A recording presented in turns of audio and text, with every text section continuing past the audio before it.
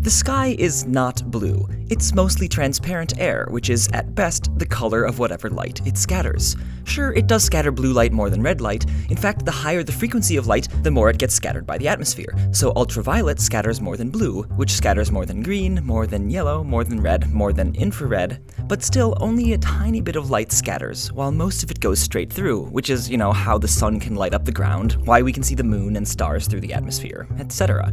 The sun itself actually emits a wide range of frequencies of light, and our human eyes perceive this particular combination as white or neutral in color.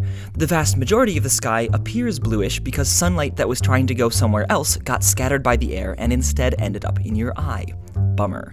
It still has a wide range of frequencies in it, with slightly more blue than in white light, roughly the same amount of green, and less red. You can see a simple demonstration of this on a computer if I take a white background, add a bit of deep blue, and subtract a tiny bit of pure red. I get a nice sky color.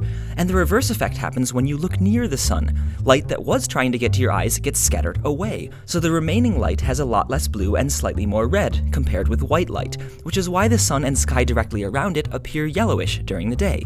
At sunset, there's even more air for the light to scatter off of before it reaches you, hence the even richer oranges and reds.